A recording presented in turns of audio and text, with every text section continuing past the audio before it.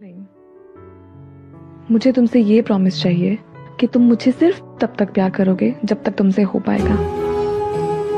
और अगर कभी तुम मुझे छोड़ के जाना चाहो तो सिर्फ़ इसलिए नहीं रुकोगे कि मुझे बुरा लगेगा।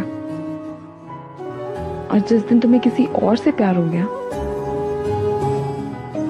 उस दिन तुम सबसे पहले आके मुझे बताओगे।